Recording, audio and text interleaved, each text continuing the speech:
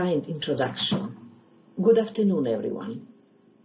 Are you concerned about clinical trial enrollment and representation? We think that this topic is very important and assume that all of you listening to this webinar agree with us by answering yes to this title question. Enrollment and representation are the foundations of well-executed trials. This is the outline of our webinar. I will start by summarizing what is written in our regulatory and guidance materials about demographic representation. Manuel will show us demographic data presented and collected during five years of drug trial snapshots program. And Kaveeta and Chardel will tell us about the actions and initiatives of their respective offices that aim to support diversity in clinical trials. This is FDA's standard disclaimer. What you are about to hear are personal opinions of the speakers None of us has any conflict of interest to declare. So let's begin with the FDA's regulatory framework for trial diversity. We have to start from the end. What does FDA approve? In short, we will approve the drug, device, or biologic for certain indication which actually represents the population studied and for whom safety and effectiveness has been established. There are also regulations that allow us to extrapolate efficacy data from one population to the other, but this talk will focus on the mainstream of regulatory actions. So the next question is, who are the people in the trials? And the answer is, it depends. It depends on indication and inclusion-exclusion criteria for participation. Trial population may consist of healthy volunteers when drug is approved under animal rule, or a very narrow population with certain stage of the disease, or certain biomarker. The population may be defined by comorbidities, but most likely all of these populations will be a mix of patients defined by their age, ethnic, gender, and racial characteristics. And that is what we will cover in this webinar. We also ask the trials are representative of the future users, as described in the drug labeling. But labeling negotiation is too late for the discussion. We would like to know how is sponsor progressing towards the goal from the beginning? Final demographic rule of 1998 requires tabulated report on trial participants in every IND annual report. The summary of all of these annual reports is usually part of the background package for end of phase 2 meeting and a good starting point in discussing recruitment for phase 3 trials. Final demographic rule requires tabulation and analysis for demographic subgroups in NDA and BLA submission, and that will inform the labeling. However, there were some questions about the extent to which these regulations were followed. So in 2012, Congress mandated FDA to report on the extent of clinical trial participation and inclusion of safety and efficacy data by demographic subgroups. They also asked how is this information communicated to the public? So what did the report show? It showed that regulatory tools were adequate to answer this question, that majority of applications for drugs, biologic and devices submitted to FDA do include demographic subset analysis by sex, race and age, and that is that the application mentioned demographic subset in some way. The report also pointed to some areas of lower representation. To help us all do better, FDA published a couple of guidances to explain what is expected from trial population in respect to demographic composition. And here you see some of these guidances in chronological order. About gender, geriatric population, pediatrics, collection and reporting on race and ethnicity. Some are more specific, like draft guidance on older population in cancer trials, or some are part of a disease-specific guidance, like the two you see on COVID-19. More on demographic expectations in vaccine and trials for COVID-19 you will hear from Kaveeta and Charday. I will now try to summarize few of these more generalized guidances. These are the take-home points on gender recommendations from 1993 guidance. This guidance eliminated restrictions for women of childbearing potential from participation in early trials. Because of this exclusion, Phase 3 trials did not have sufficient information on this population. And as you will see later, sometimes that early data from both genders is critical for redefining drug development. FDA expects enrollment of both genders unless there is a gender-specific disease and in sufficient numbers to provide for analysis of differences in response. The guidance also talks about consideration of hormonal changes in women, particularly when selecting women for pharmacokinetic studies. We need to understand how the drug behaves when interacting with fluctuating hormonal levels in women, whether it's physiological or influenced by hormonal contraceptives. When it comes to race and ethnicity, FDA recommends use of the Office of Management and Budget nomenclature for data collecting and reporting. Furthermore, it recommends that relevant population is represented. This may become an issue in trials carried out globally. International Conference on Harmonization E5 describes how clinical data collected in one region can be used for approval in another region. What you see here is the minimum of race and ethnicity categories that can be used for grouping the patients according to self-determination. In the guidance on collection of race and ethnicity data in clinical trials, you may find some additional categories, as well as subgrouping according to the country of origin. Regarding age, we are all aware that older people tend to be sicker and taking few more medications that may interact with the testing drug. So excluding some of them may be a necessity. However, arbitrary cutoff of that population, particularly in pivotal trials, may result in issues with indication. If older people will be future users of the drug in development, that population should be included in phase 3 in meaningful numbers so that we can properly label the drug use. This should be accompanied with the PK data. On the other side of age spectrum, Pediatric Research Equity Act describes very specific requirements and timelines for pediatric assessment during drug development. If the drug is expected to be used by pediatric and geriatric populations, safety and efficacy findings from the trials in these populations are routinely described in drugs label under Section 8, Use in Specific Populations. And here are recommended groups of patients by age. There is some minor variability in the age cutoff between adolescents and adults among FDA centers. All the population cutoff should be at the age of 65, but even more informative would be to use additional categories for 65 to 74 years and 75 and older. This is particularly the case for oncologic and neurologic drugs since both of these therapeutic areas tend to have diseases that affect older population.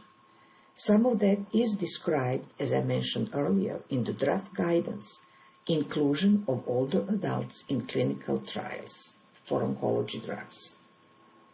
However, we are aware that even with the best recruitment effort, sometimes it is hard to enroll sufficiently diverse population. So I want to spend some time on the recently published guidance on enhancing the diversity of clinical trial populations, where we provide additional thinking how to approach this complex issue, namely how to increase enrollment of underrepresented population in clinical trials.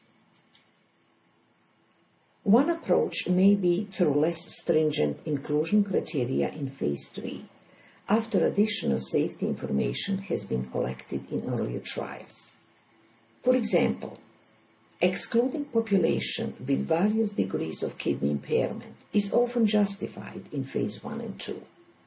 But if there is no reason to do that anymore in phase 3 trials, this exclusion criterion could be revised to allow broader enrollment, particularly of African Americans in this case. Innovative trial design approach is another example. Using an adaptive design with an interim analysis could enable adjustment of future enrollment based on pre-specified criteria regarding response. Enrichment strategies are usually employed to show effect in targeting an often narrow population. But even then, enrolling participants across the full spectrum of disease could be considered and analyzed as a secondary endpoint. Additional efforts could be made to make it easier for patients to become trial participants. There are ways to overcome time constraints, uh, language barriers, miscommunication, and you will hear more about these from a little later. For patients who cannot make inclusion criteria, expanded access could be considered. This guidance also talks about pregnant women in trials, but I will leave this topic to Kaveeta a little later. Diversity in the trial matters because of the improvements that can be made. Here are a couple of examples where that diversity influenced regulatory thinking and actions. Sometimes that happens in the pre-approval phase. This is an example of the drug alosetron for the treatment of irritable bowel syndrome and gender differences. An early discovery of lower efficacy rates in men coupled with lower drug availability from PK studies resulted in indication change and the drug was approved only for women. This is another example involving heart failure drug and racial differences. In two trials of racially mixed population, there was notable difference in efficacy of the drug measured by survival between overall population and blacks. In the confirmatory trial, the drug was studied only in blacks and consequently approved for that race only.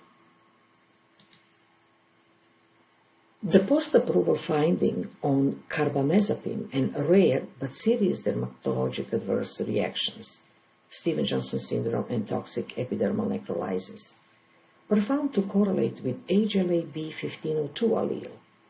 This correlation was much stronger in South Asian patients than in any other racial or ethnic group. And the boxed warning currently recommends screening for the presence of HLA-B1502 allele in at-risk populations. Asians. Demographics matter for labeling purpose. Prescribing information, section 8, has subsections describing use of drug in pregnancy, lactation, the effect of drug on female and male reproductive potential, use of a drug in pediatrics and geriatrics. So, to summarize, we encourage and support diversity but we also report on trial demographics in various ways. And here is the summary of what and where can be found in regards to demographic data following FDA's approval. The most comprehensive, but also very technical and lengthy presentation and analysis are in the FDA reviews. All are publicly available at Drugs at FDA. Snapshots on the other side contain the most consumer-friendly information but are limited to new molecular entities and mostly phase 3 data, while prescribers' information are somewhere in between these two. I hope that this regulatory overview will be a good introduction for the presentations to follow. But before we proceed, as required, a little check on what we have learned so far. So please answer with true or false. Final demographic rule describes which demographic subgroups are expected to participate in the trials. True or false? The correct answer is false. Demographic rule requires tabulation and analysis of demographic data in the submissions. I hope all of you got this right, and I want to thank you for your attention. I will conclude my presentation with a quote from my favorite contemporary philosopher, Yogi Berra. You can observe a lot by just watching. And to tell us more about data observations, I'm going to pass it over to Mr. Melvyn Okeke. Melvyn? Thank you, Milena, and good afternoon, everyone.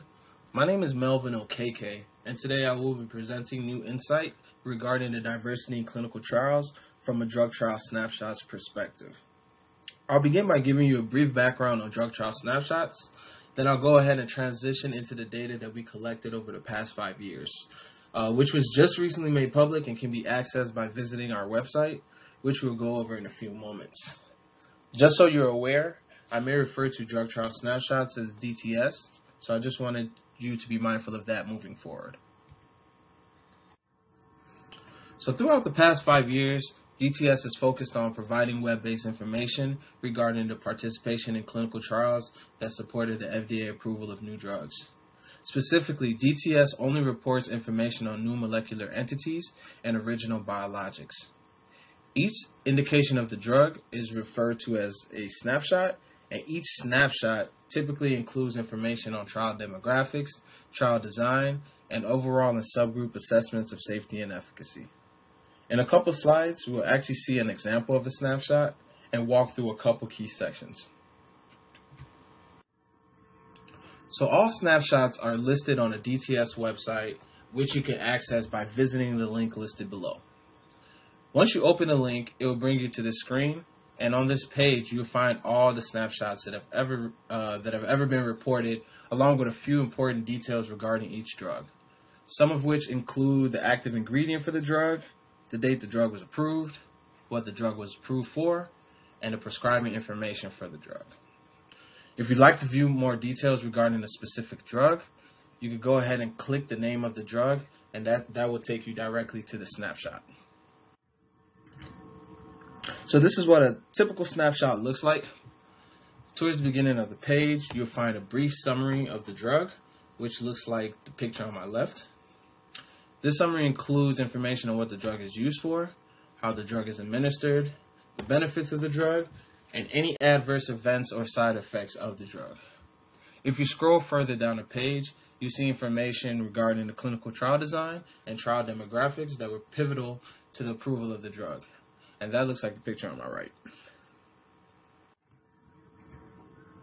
So using the information reported from each snapshot that was approved during the calendar year, an annual report is generated. This report summarizes the demographic data for all clinical trial participants.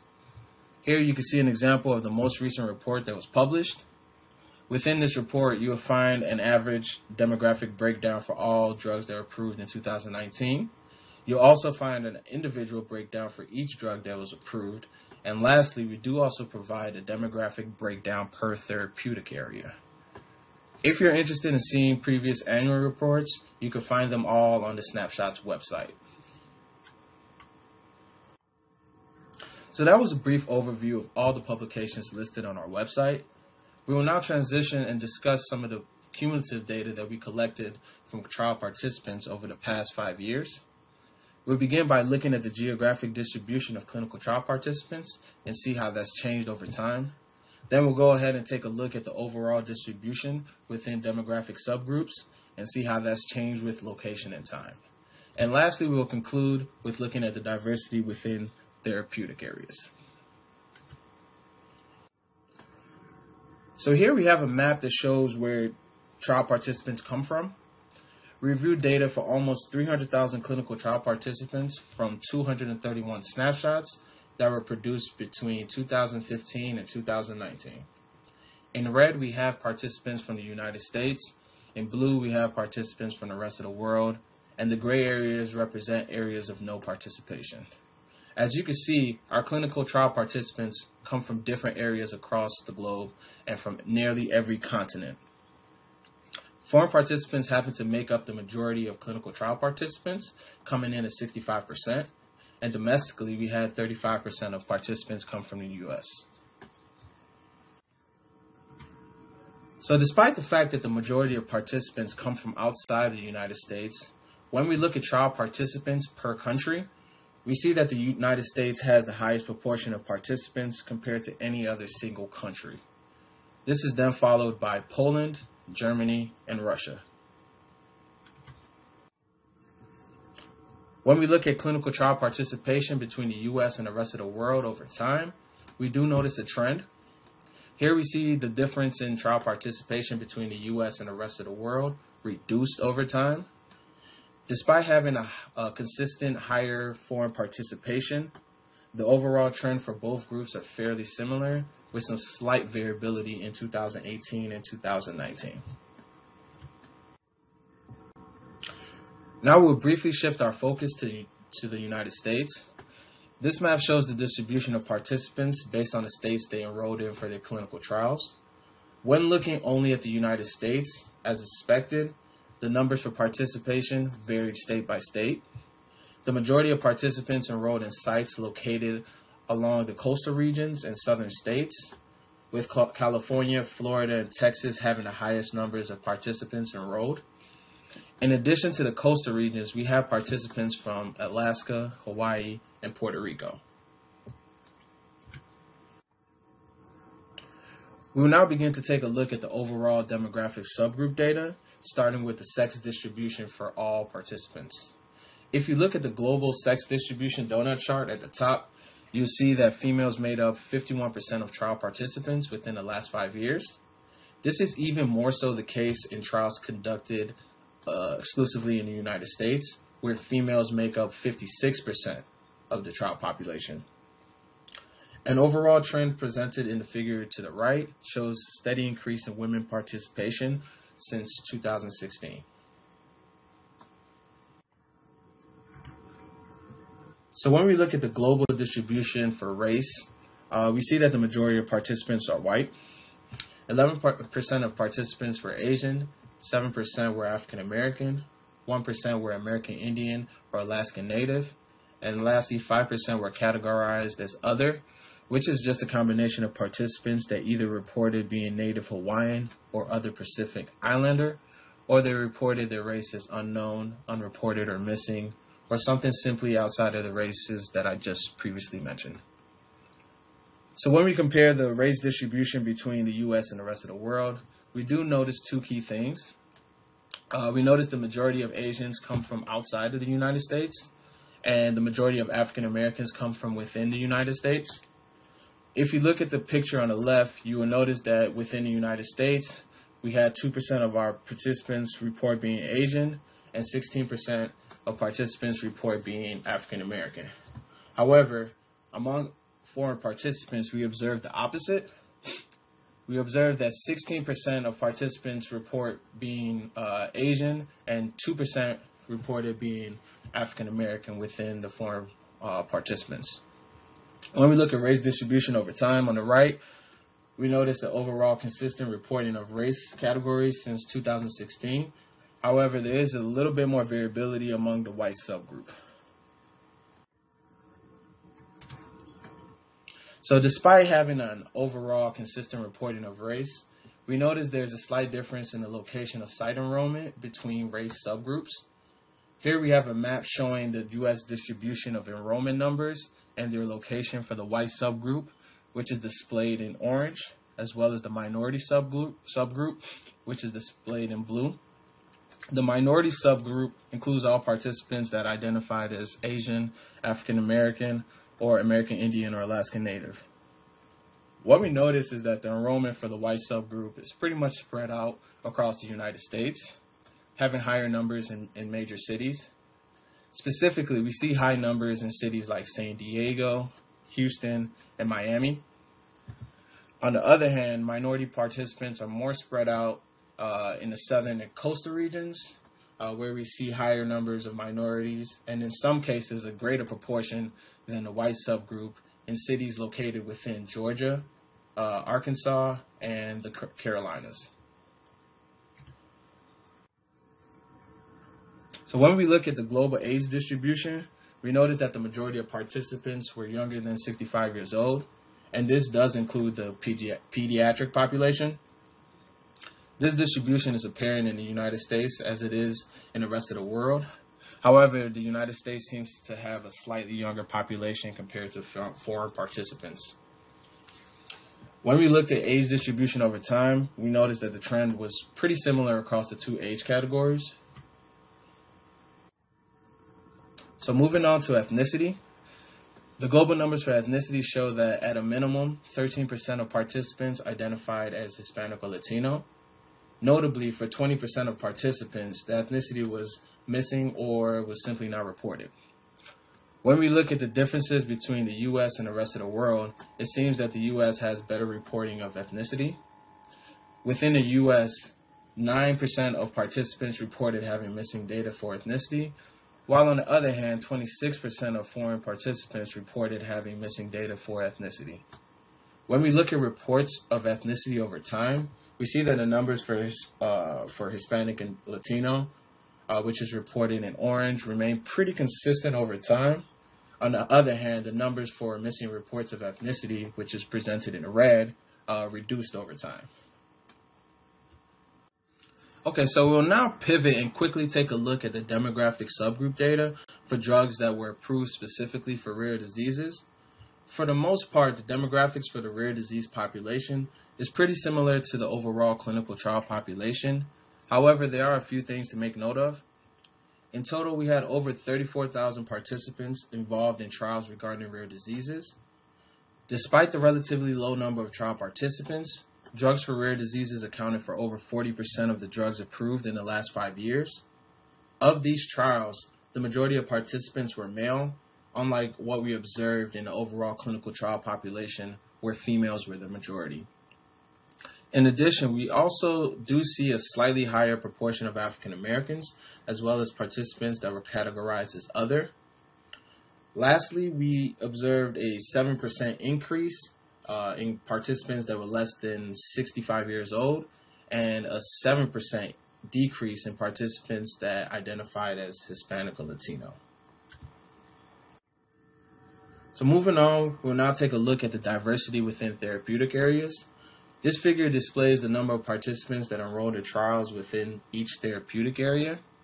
Here we observe that clinical trials relating to cardiovascular disease had the most number of participants, having almost 60,000 participants in the last five years. This is then followed by endocrinology and oncology. The therapeutic areas that had 10,000 10, participants or less were psychiatry, ophthalmology, anesthesia, and lastly, med medical imaging. Please keep in mind that these numbers do not represent the number of drug approvals. These, these figures only represent uh, the number of participants in each therapeutic area. So when we subset the therapeutic areas by sex, we notice that trials relating to cardiovascular disease, infectious diseases, and dermatology were majority males, just to name a few. whereas trials relating to neurology, pulmonology, gastroenterology, and ophthalmology were primarily females. Lastly, when we subset the therapeutic areas by race, we see that the majority of participants within each therapeutic area were white. However, among the minority race subgroups, Asians, which are presented in red, have the greatest number of participants in most of the therapeutic areas. On the other hand, we observe that African Americans, which are presented in green, have the greatest number of minority participants within infectious diseases, gastroenterology, psychiatry, and ophthalmology. Notably, psychiatry and infectious diseases have the highest proportion of African Americans, having 27% African Americans in psychiatry and 16% in infectious diseases. Okay, let's uh, take a moment to answer this challenge question. Which states within the U.S. had the highest numbers of participants enrolled? Is it A, New York, Texas, Florida? B, California, New York, Texas? C, Texas, California, Florida? Or D, Texas, California, Georgia? I'll give you a few seconds to think about the correct answer.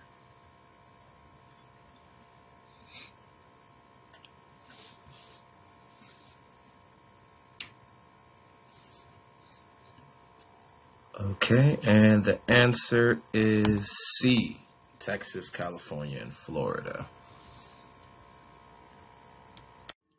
In closing, we discussed a few key observations regarding the diversity of clinical trial participants within the last five years.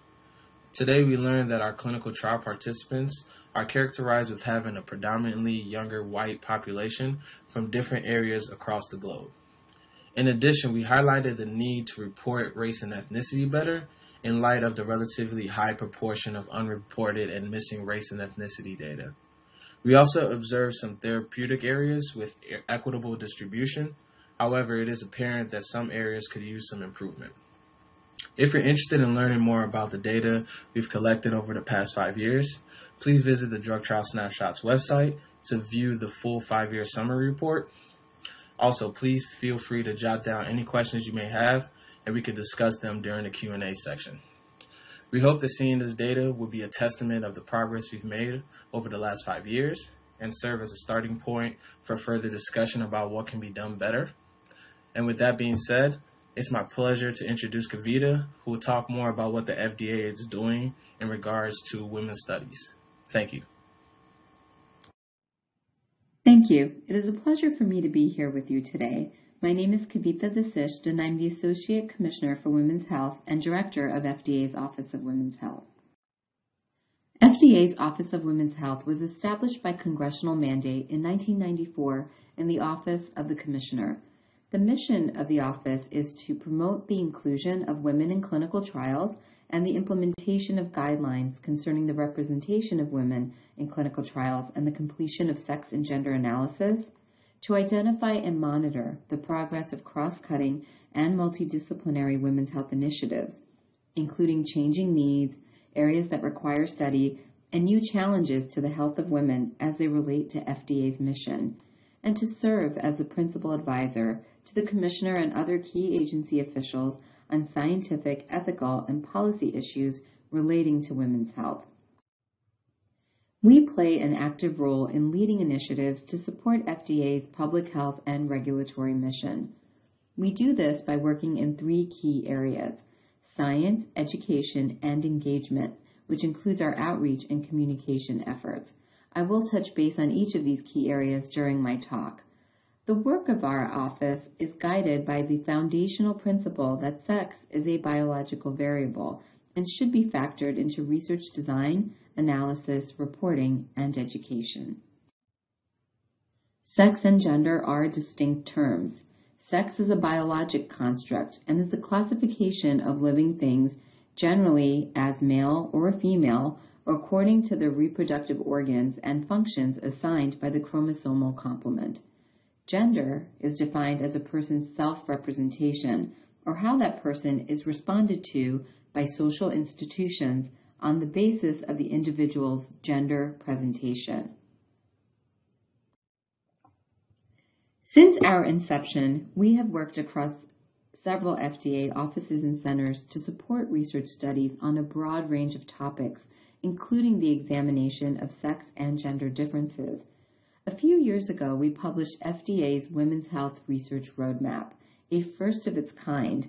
The roadmap incorporated cross-agency input to create strategic direction by outlining priority areas to help maximize the impact of our research initiatives and ultimately promote optimal health for women.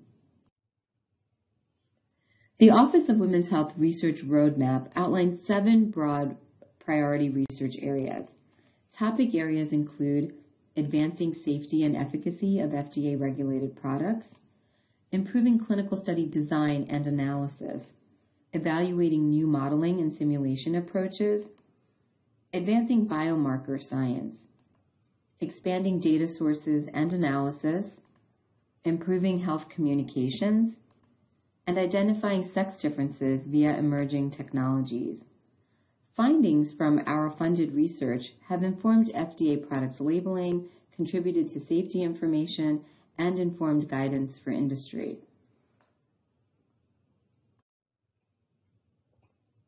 One part of our mission is to monitor and advocate for the participation of women in clinical trials. We worked with the Center for Drug Evaluation and Research and conducted a decadal review evaluating the participation of women in cardiovascular clinical trials submitted to FDA in support of several therapeutic marketing applications over a 10-year period. This represented approximately 36 drug approvals. Results of our study showed that participation of women approached disease prevalence for conditions such as hypertension and atrial fibrillation, but was below disease prevalence for conditions such as heart failure, coronary artery disease, and acute coronary syndrome. Other results demonstrated that screening did not exclude nearly enough patients to account for the differences in participation that were observed. Based on our limited data, study inclusion and exclusion criteria appear to exert relatively minor effects on women's participation. Minimal gender differences in drug efficacy and safety profiles were observed. Our study suggests that pre-screening factors may contribute more to low enrollment numbers, such as identification of potential trial participants. Future research is needed to identify the factors leading to underrepresentation of women in certain clinical trials. Another priority area for our office is to provide professional training and education. To support this mission, we created a quarterly scientific speaker series which aims to bring in world-renowned experts to share the latest discoveries in sex and gender science with our FDA staff and federal partners. These lectures focus on timely and critical topics. For example, this year we hosted a seminar on sex differences and the impact on vaccine efficacy and recently we hosted a seminar on sex differences in COVID-19 and COVID-19 and pregnancy. Each year we host a scientific conference focused on a critical or emerging public health issue. Two years ago, we planned a two-day conference on the influences of sex and gender on opioid and nicotine use, dependence, and recovery. In 2019, we hosted a meeting on the safety of asthma medications in pregnancy. And just last month, we held a multidisciplinary scientific conference on CBD and other cannabinoids. This meeting highlighted the existing research on sex and gender differences in use and responses, as well as the knowledge gaps that exist. We also develop educational programming through collaborations with our federal partners. Bench to Bedside, Integrating Sex and Gender to Improve Human Health is a series of webinars developed in partnership with NIH's Office of Research on Women's Health. These self-paced webinars aim to help researchers and clinicians explore sex and gender differences that impact health, disease, and treatment in key disease areas. Topics for, this, for these webinars include immunology, cardiovascular disease, pulmonary disease, neurology, endocrinology, and mental health. The course is free and you can find the course landing page on the bottom of this slide. To further support our mission to promote the inclusion of women in clinical trials, we developed a campaign called the Diverse Women in Clinical Trials campaign. This was developed in collaboration with NIH's Office of Research on Women's Health to raise awareness about diverse women of different ages, races, ethnic backgrounds, and health conditions participating in clinical trials, and to share best practices about clinical research design, recruiting, and data analyses. The campaign includes a consumer awareness component as well as resources and workshops for health professionals and researchers. For example, on this slide, you will see a fact sheet developed as part of this initiative highlighting 15 things you should know before you join a clinical trial. This includes a list of questions that a potential trial participant can ask to begin the conversation around participating in a trial. In addition, we have created a social media toolkit, which includes sample social media resources that can be used to inform consumers and health professionals about the Diverse Women in Clinical Trials campaign to further promote participation of women in clinical trials. Maternal health is also a very important focus area for FDA and for our office. We serve as the member on the task force on research specific to pregnant and lactating women, also known as PRGLAC.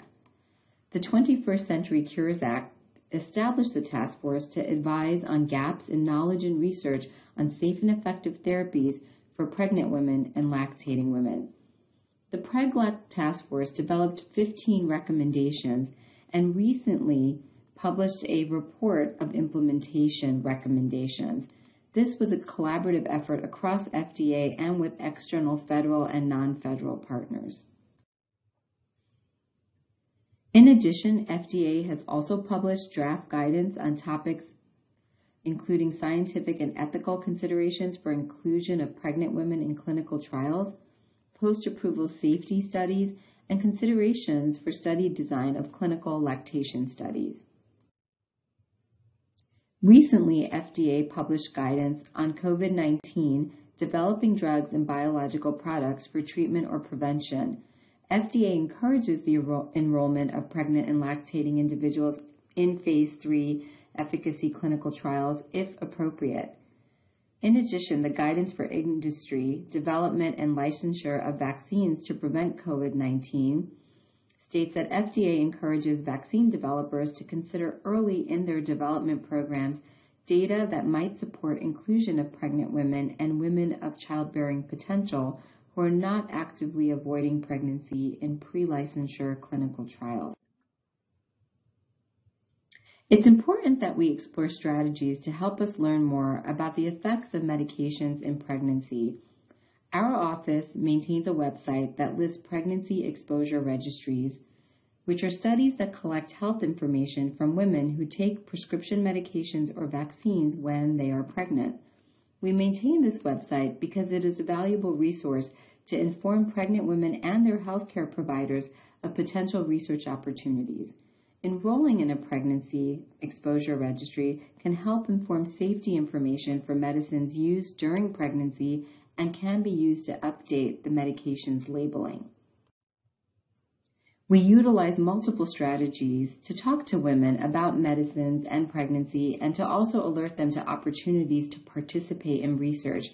Here's an example of our social media posts for the pregnancy exposure registries and for our Diverse Women in Clinical Trials campaign.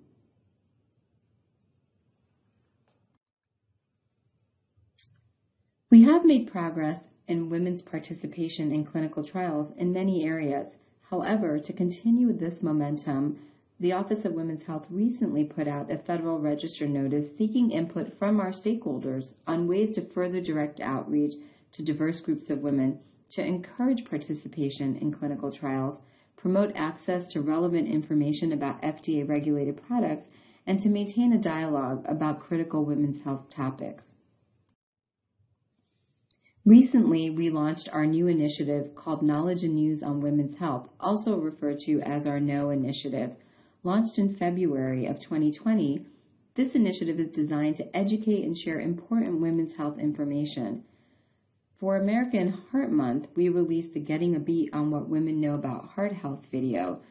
This is to raise awareness among women about heart disease risk factors, prevention tips, and signs and symptoms that may present differently in women. We also recently created a blog called our Knowledge and News on Women blog, which covers important women's health topics. We offer easy to read free publications on a variety of health topics. This can be downloaded or free copies can be ordered for over 40 fact sheets and brochures in English and Spanish, and we also offer toolkits and videos, and many of our publications are also translated in other languages. I invite you to stay connected with us.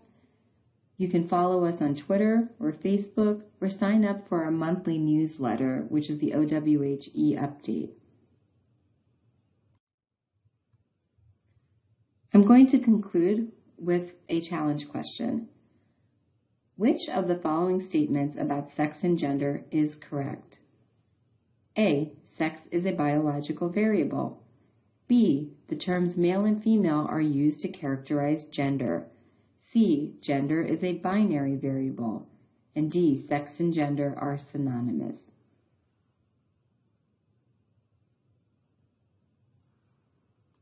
The answer is A. Sex is a biological variable. Thank you again. It's a pleasure to be here with you today to provide information about the FDA Office of Minority Health and Health Equity and the work that we are doing to advance diverse participation in clinical trials. I'm Rear Admiral Sharday Araojo, the Associate Commissioner for Minority Health and Director of the Office of Minority Health and Health Equity at FDA. Today I'm going to provide an overview of the Office of Minority Health and Health Equity and the work that we do, I'll describe our Diversity in Clinical Trials initiative, as well as provide an overview of communication and outreach strategies to advance diverse participation in clinical trials. In 2010, the FDA established the Office of Minority Health, and in 2019, we were renamed to the Office of Minority Health and Health Equity. We are very excited about our new name. We think it really helps to highlight the scope of the work that our office has historically performed and what we will continue to do which is working to protect and promote the health of racial and ethnic minority, underrepresented, and underserved populations by focusing our work on research and outreach and communication that works towards addressing health disparities. Our office sits within the Office of the Commissioner. We work broadly across the agency as well as with both public and private sector stakeholders. And we have three overarching goals. We aim to improve regulatory science by increasing data available on the populations that we serve. We aim to strengthen FDA's ability to respond to minority health concerns and promote health and safety communication to populations that often experience low health literacy, speak English as a second language, or not at all. As I mentioned, we focus our work in two key areas. Our research and collaboration program aims to advance minority health and health equity focused research. And we do this by supporting both intramural as well as extramural research, we participate in research opportunities across our agency, including the FDA Centers of Excellence in Regulatory Science and Innovation, or CERSI, and these are collaborations between FDA and certain academic institutions. We also work to continue to provide training in the space of health disparities, and we do this through supporting both internships and fellowships. And of course, we engage broadly with our stakeholders so that we can continue to get input into our research agenda. Our outreach and communication program aims to improve FDA's communications with the populations that we serve through developing a variety of different culturally and linguistically competent programs, initiatives, and campaigns. One of these is our Diversity in Clinical Trials initiative, and this is one of our most notable and long-term initiatives that is really central to our core mission of the office. And I'll spend some time talking more about this initiative in just a moment.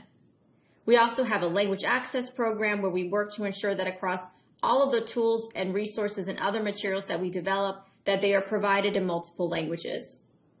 We develop health education materials on diseases and conditions that disproportionately impact minority populations. We engage in social media outreach. We have a newsletter. We also have a dedicated web page that houses all of the information that I'll be highlighting today. And another area for us that's really important is our health equity lecture series. And through our health equity lecture series, we provide webinars and it provides an opportunity for us to bring experts on minority health and health equity to share their information and the work that they are doing, not only with FDA, but also with the public. All of our webinars are freely available and previously recorded webinars can be found on our website.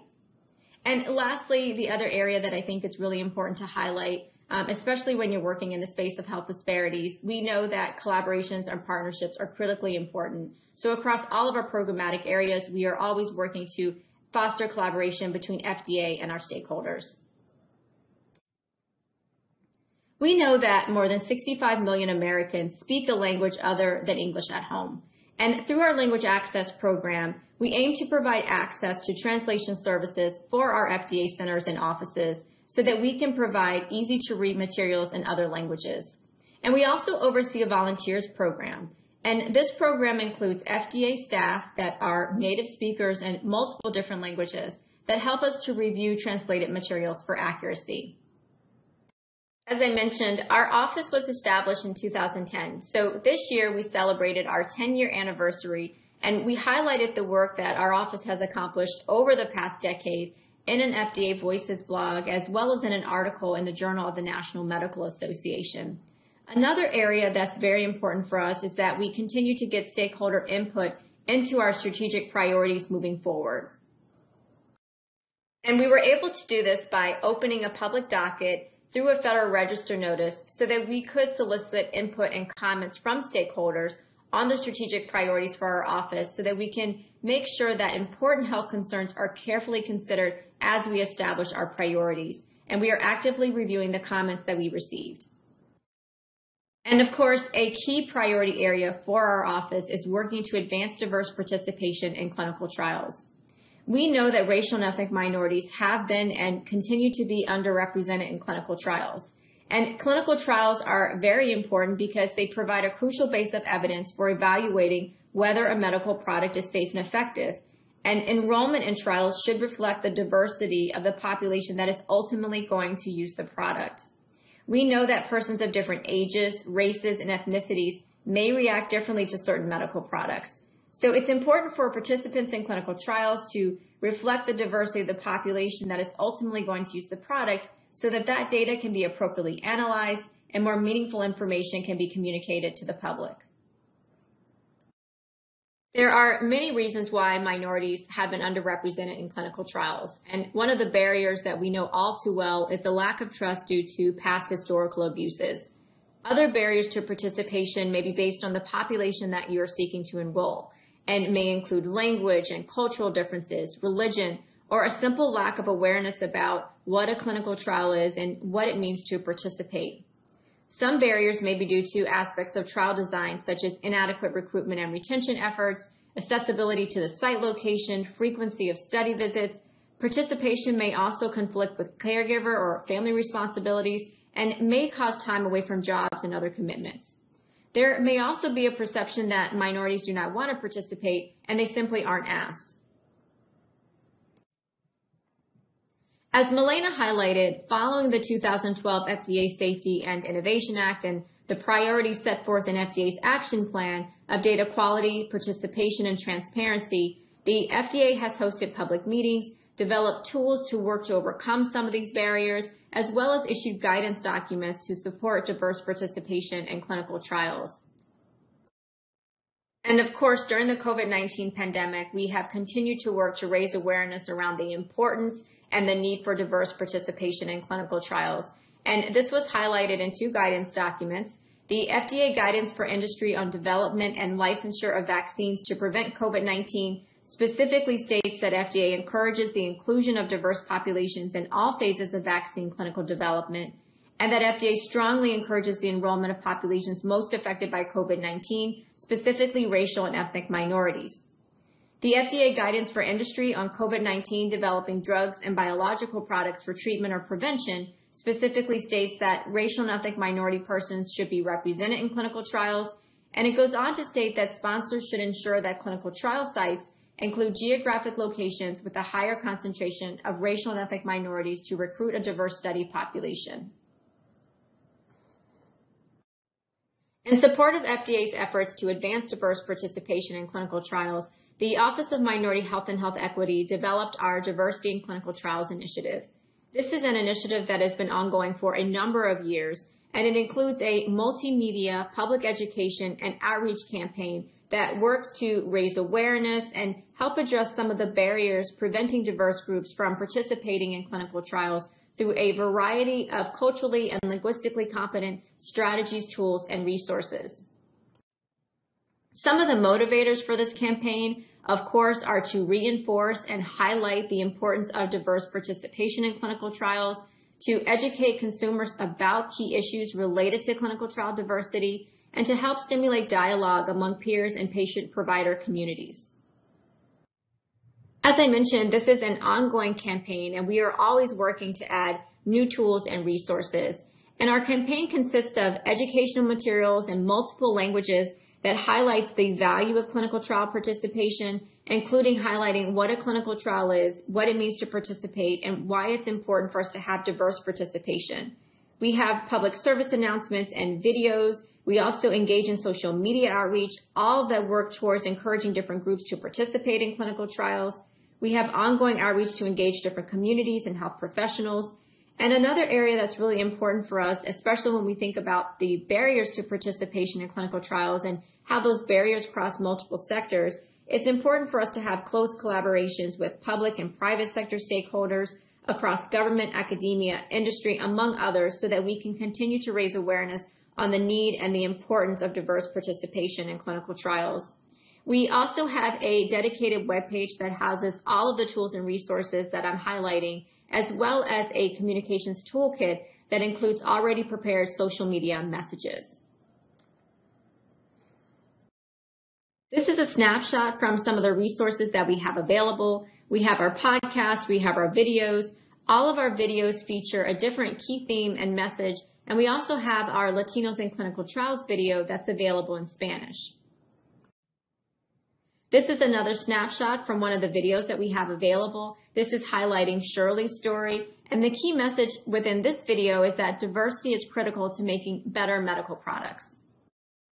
I mentioned that collaborations and partnerships are, of course, part of our campaign and, and, very important. And we had an opportunity to partner with the VA Office of Health Equity.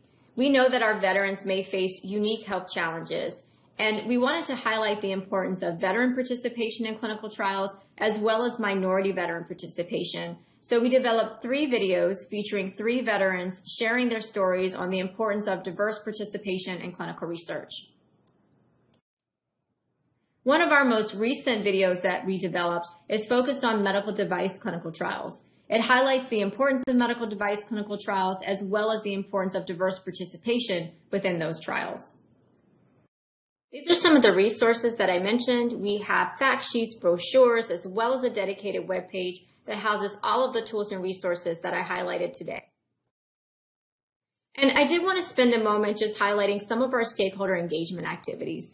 This is not all of our stakeholder engagement activities, but it does provide an idea of some of the ways that we engage to continue to advance diverse participation in clinical trials.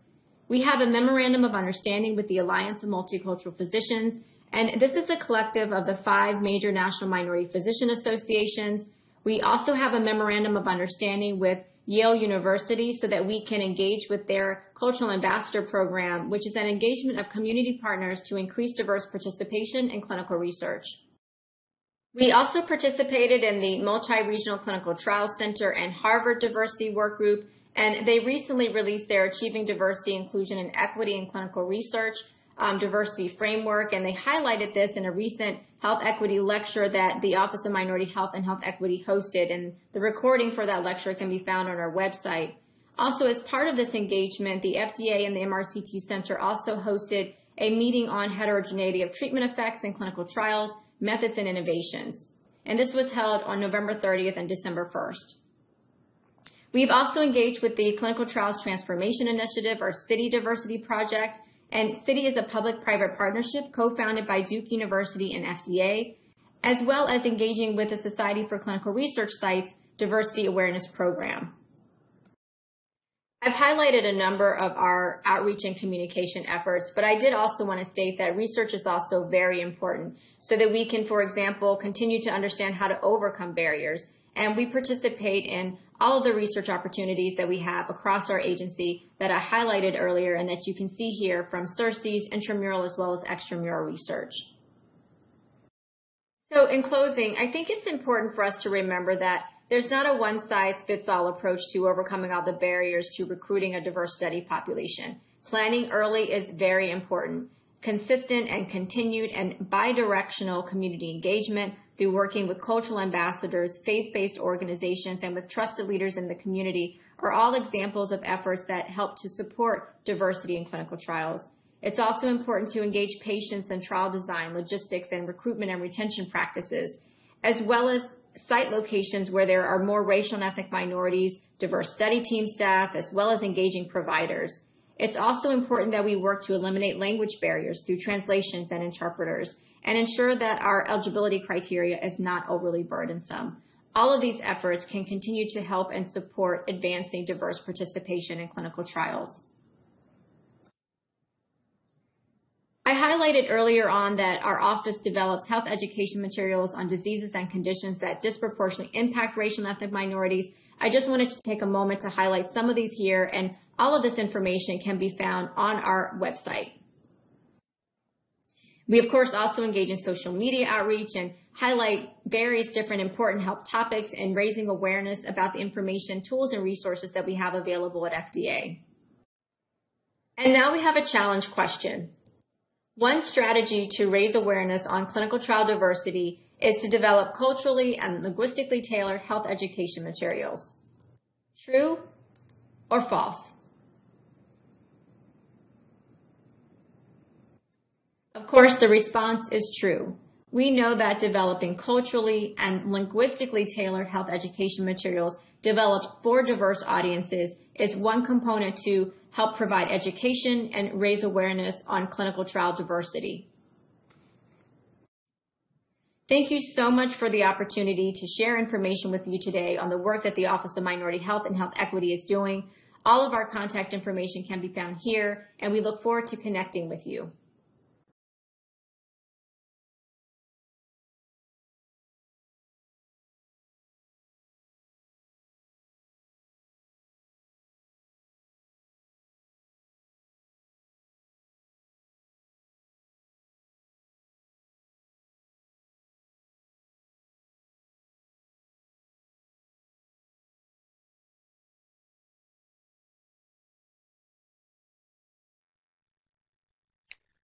Thank you to all of our presenters for those great presentations. If you haven't had a chance to enter your questions into the Q&A chat pod, please do so now. Our first question is directed to Dr. Lolic. You mentioned COVID-19 guidance and expectations for a diverse trial population. Do you have any data from COVID-19 trials to share?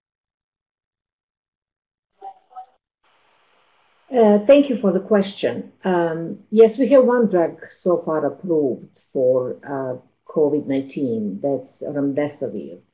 And we recently published the data from the trials. Um, and I think we may have them ready. Could you show the slide? It would be easier to follow. Thank you. Um, so um, there were actually three trials with combined population of uh, about 2,000 hospitalized, hospitalized patients. And the breakdown you see here on the left upper cor uh, corner, there was a 63% of men.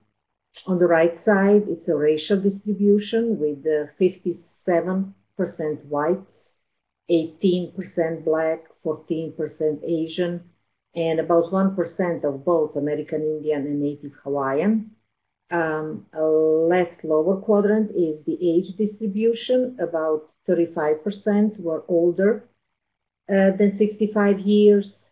And on the right, you have ethnic distribution. Hispanics were represented with uh, 21% of all participants.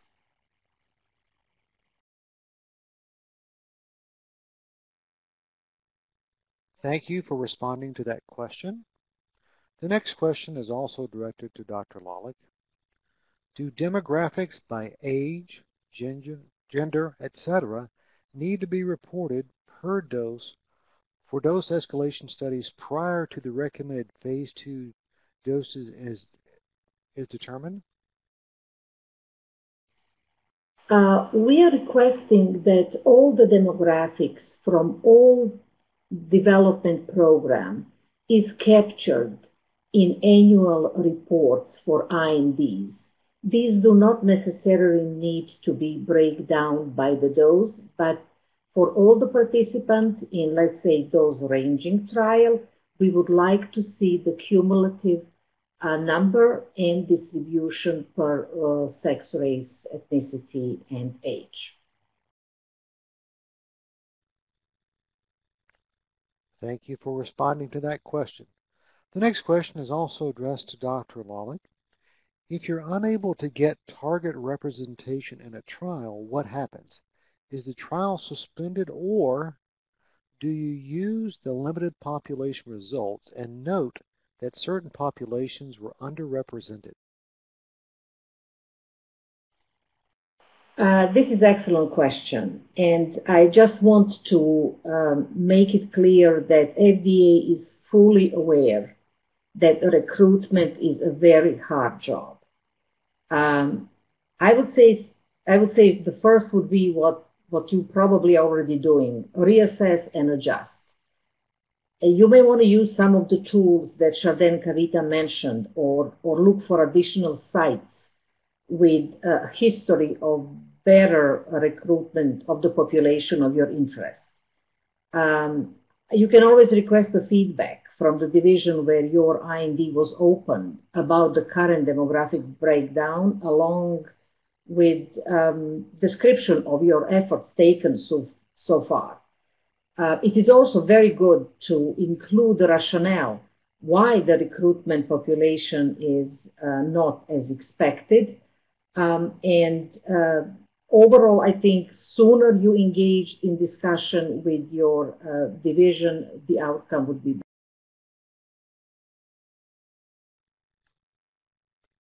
Thank you for responding to that question. The next question is directed to Mr. Okeke. Do DTSs cover both Rx and OTC human drug trial? Uh, so drug trial snapshots only reports demographic information on new molecular entities and original biologics. We do not report uh, information on over-the-counter drugs.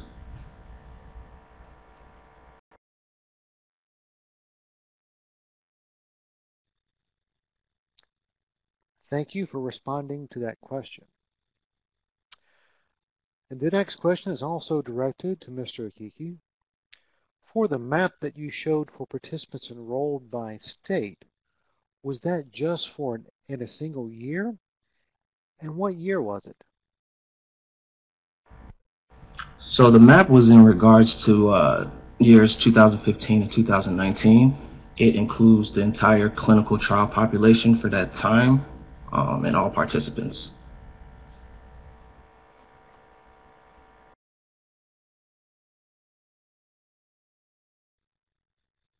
Thank you for responding to that question. The next question is direct to Mr. Okeke. Is the increase in women participation similar across all therapeutic areas? So that's a good question. Um, so the sex distribution across therapeutic areas is fairly consistent to the sex distribution that we saw in the overall clinical trial population.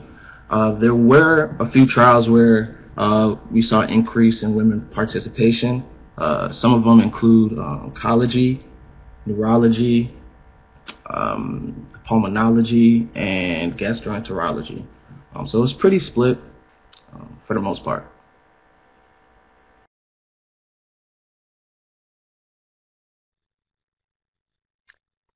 Thank you for responding to that question.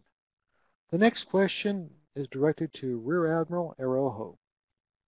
What FDA resources are available for an investigative site to improve the inclusions of diverse populations?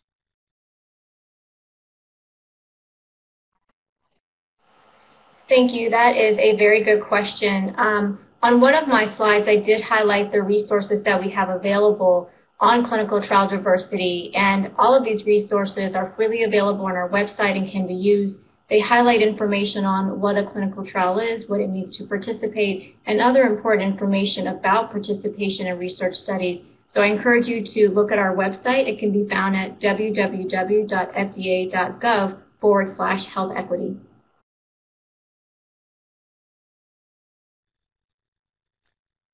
Thank you for responding to that question. The next question is directed to Rear Admiral Araojo. There is sometimes a misunderstanding that inclusive research is more important in, a later, in later phase trials.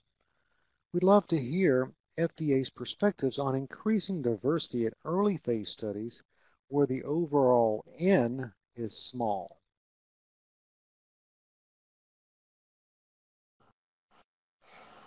That is a excellent question. Across all of the work that we do, we are communicating about all phases of trials with regard to participation. So both phase three trials as well as all phases. So our research materials do highlight information um, related to all phases of participation.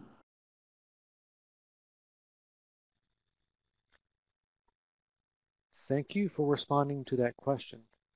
The next question is directed to Rear Admiral Araojo does OMHHE engage with pharma companies? Our office engages broadly um, with many stakeholders from pharma companies as well as academia, nonprofit organizations, health advocacy organizations. So we engage broadly. One of the areas that um, we really know is important is when we have a multi-sector approach it's important so that we can really work to overcome all of the barriers with regard to clinical trial diversity. Thank you for responding to that question. Our next question is directed to Dr. Lolic. Are sponsors expected to still collect race and ethnicity in countries where this is considered to be sensitive personal information like France and South Uh, yes, we see uh, issues with collecting race and ethnicity uh, outside the United States. Um, and uh, of course, sponsors need to follow the regulatory practices of the countries in which the site is located. So if this is not um, a category that is allowed to be collected, it is okay not to collect it, but also in the text or under the table that should be noted as not collected per regular, local regulatory authority. Thank you for responding to that question. The next question is directed to Dr. Lolic. Are there plans to incorporate ethnicity, Hispanic versus non-Hispanic, data into DTS? As you probably know, as you probably know, we know that disease burden can sometimes vary significantly by ethnicity. Uh, actually, we do report uh, on uh, composition of the trials, including ethnicity. Uh, you actually saw one of those presentations for remdesivir. Uh, from the start of snapshots, uh, this uh, particular category was not consistently reported, but about three years ago, that has been um, not the case. Um, I do believe that in the future, uh, we will be reporting more consistently on uh, safety and efficacy as well, which at this part is uh, mainly focused on sex, race, and age. Thank you for responding to that question. The next question is directed to Dr. Lolic. Are there plans to include DTS data from drugs that are not NMEs? For example, drugs under the 505b2 regulatory pathway, new formulations, for example? Uh, we do have um, a lot of requests for broadening the type of the drugs in the snapshots. And as of now, I can tell you that all of these are under considerations, although um, I'm not expecting anything uh, in the imminent future. Thank you for responding to that question. The next question is for Mr. Okeke. For trial participant for the trial participant slide, what about Latinos and Hispanics? What is the distribution? Uh, that's a good question. Um, I actually mentioned this within my slides. Um, so within the global child population, we had about 13% of our participants report being Hispanic or Latino. Um, within the U.S. specifically, we had 15% of our uh, participants report being Hispanic or Latino. And when we looked foreign and to the rest of the world, uh, we had about, um, I believe it was 11% of our participants report being Hispanic or Latino.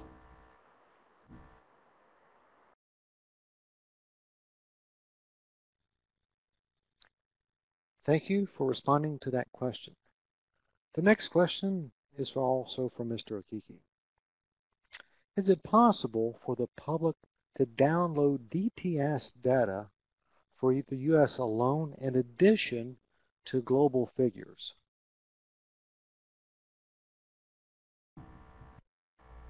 Uh, so that's a good question. Um, so we're not uh, allowed to share patient level data. Um, however, I can tell you uh, we have a wealth of data and figures on our snapshot website, and you could download all of our annual summaries and also this five-year report. Uh, we have a few figures that we did that I didn't mention within my presentation, um, so you can go ahead and check that out on the snapshots website.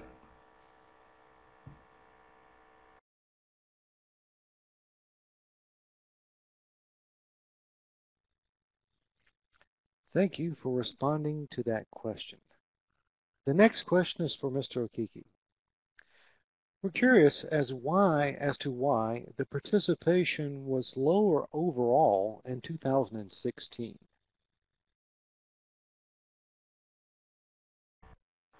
So I can't really speak on why the participation was lower in uh, 2015, uh, 2016. I'm sorry.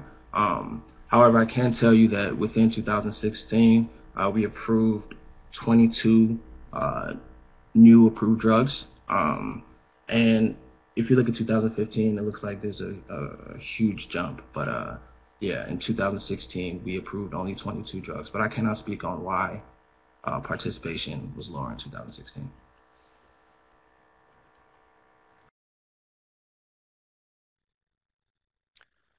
Thank you for responding to that question. The next question is directed to Rear Admiral Araojo. What was the gap observed that caused the name to include health equity? Thank you for the question. Um, we added health equity to our name to really highlight the work that the office has performed since we were established in 2010.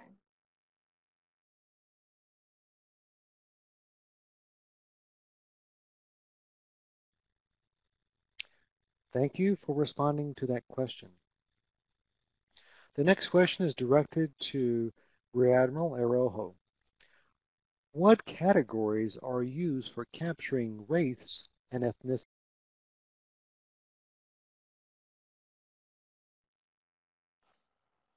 As Milena mentioned, we follow the Office of Management and Budget standards for capturing race and ethnicity. And the other thing that I think is important to highlight is that FDA also recommend, recommends self-reporting of race and ethnicity information and that individuals be able to designate multiracial identity. So as far as the standards that we follow, we do follow the Office of Management and Budget as Milena highlighted. Thank you for responding to that question. The next question is directed to Rear Admiral Araojo. What is your take on the 2015 to 2019 report?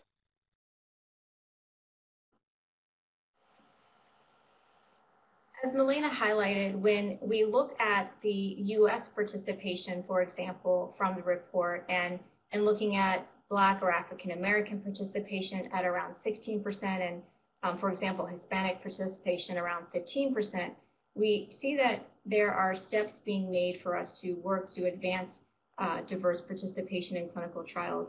But when we look at that data a little bit deeper and really dive into looking at it for particular diseases and conditions, we also see where there are areas where we need to continue to do work as far as advancing racial and ethnic minority participation in clinical trials.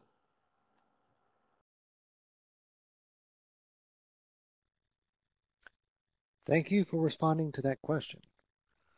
The next question is directed to Rear Admiral Araojo. Why is community engagement important in advancing clinical trial diversity? When we think about the barriers to participation, community engagement is so important in working to overcome those barriers, to build trust between the community and the organization conducting the research. We often hear that um, for a particular trial, you may step in and engage with a community and then step out but it's really important to have consistent, continued, and bi-directional community engagement and working with cultural ambassadors and trusted leaders in the community so that you can also understand the gaps and needs for that particular community and um, work to advance participation of the groups that you are intending to recruit in your clinical trials.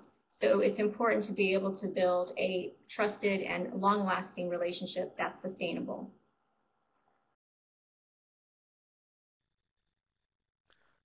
Thank you for responding to that question. The next question is directed to Dr. Lolic. Can we enroll all the patients from the rest of the world outside of the USA for a phase three trial of an NCE, also an NBE, NDA application? As I mentioned, uh, we are expecting the phase three trial population to be the population that will use the drug and be representative of the population in the United States. We do approve drug for United States only. So uh, having the population exclusively from outside the US probably will not check both boxes.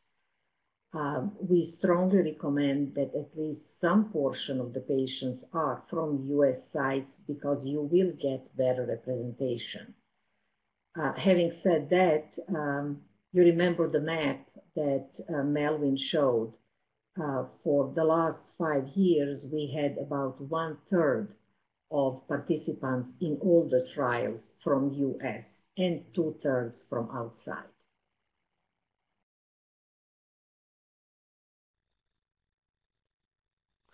Thank you for responding to that question. We have a follow-up question directed to Dr. Lolic. Were these COVID-19 trials in the U.S.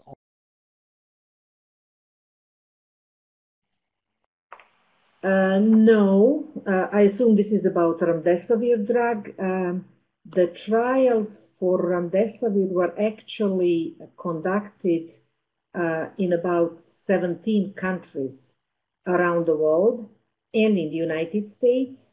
Uh, the participation from the United States was uh, 65%.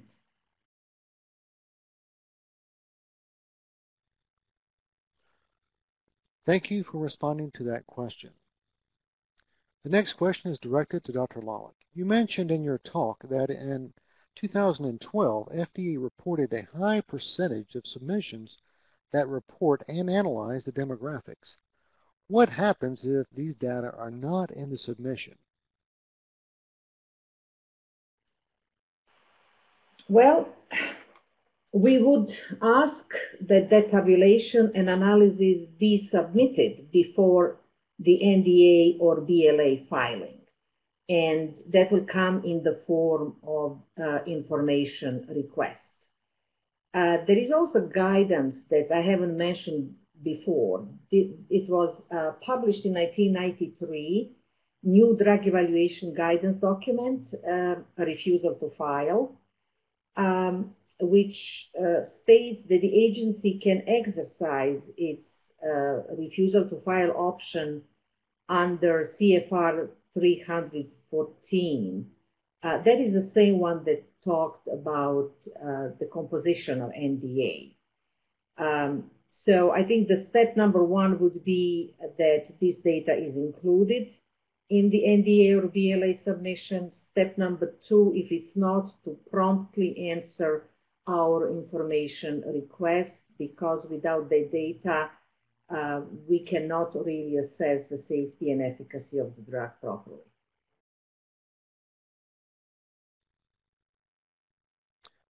Thank you for responding to that question. Looks like we have time for just one more question, and that question is directed to Mr. Okeke. Do you happen to notice any differences in the race distribution across sex categories?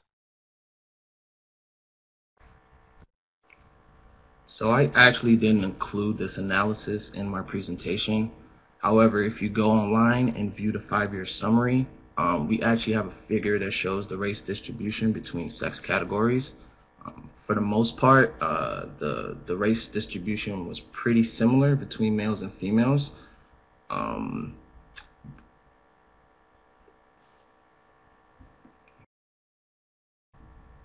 I'm sorry, cut off. I'm sorry. Uh, for the most part, the race distribution is fairly similar between male and females. We didn't notice anything significantly different between uh, males and females. Thank you.